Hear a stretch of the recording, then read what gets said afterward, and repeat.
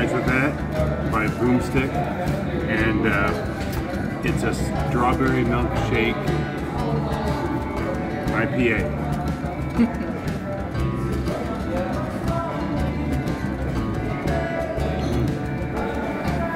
It's nice. It's got like a lactose kind of sweetness to it, and then you get the strawberry, but it's not overpowering. It's good with beer. I, I gotta say, it's dangerous.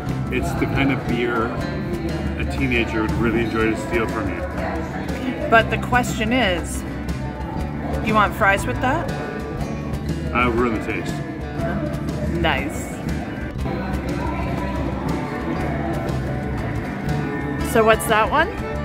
This is called Double Daylight. It is a double IPA, and it's a punch you in the face with flavor beer.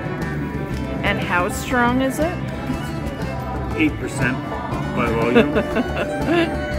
you know, Nothing. That's Nothing. chump change. in a very small glass, that's a safe amount. In a 20 ounce, it, it could be dangerous, but but in a good way. It's not when you're driving. Nice. Okay. So which one is this? Every inch a sailor. Um, it's a citrus IPA, citrus sour. All right. See how sour.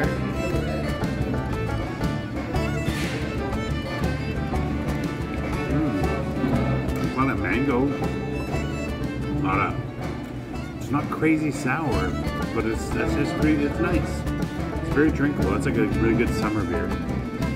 Nice. You know, not quite summer left. A very very little summer left, but hold on to it for as long as I can. Yeah, what's today? Like middle of September? Yeah, we only have a couple yeah. weeks. Yeah. I think we only have what, like eight days of summer left? we'll enjoy it though. Okay. Uh, where are we anyway? Did you say?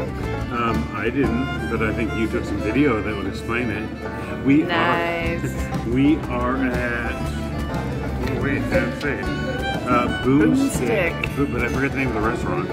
We're at Uh, Boomstick Brewery in uh, Corner Brook, Newfoundland, and uh, We're at the Best Coast Restaurant. there you go, the Best Coast Restaurant. So that's uh, we decided just to stop in and pick up some some stuff in the bottle shop, and then we're like, let's try some food. So we'll let you know if it's horrible. Victim is Lone Flamingo. It is a passion fruit sour. Hopefully, it's as nicely balanced as the previous sour.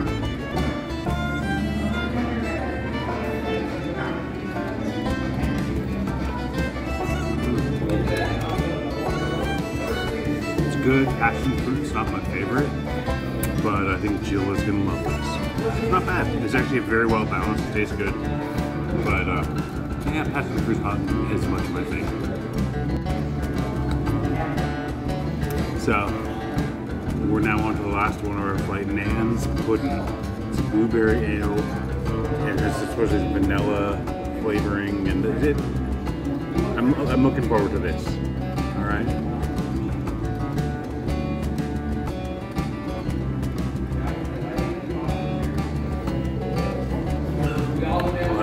Not only does it have blueberry, but it also has like a sort of molassesy body to it, and it's really that's that's dangerous. That's a very dangerous beer. What's the alcohol in that one?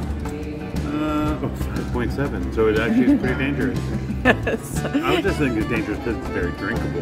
But, uh, Oh. yeah, yeah. So you know, we're gonna have to bring a bunch of stuff with us back to Nova Scotia, so we can share the wealth of what we've learned in our educational stop today. Yeah, yeah, what we've learned. Yeah, okay.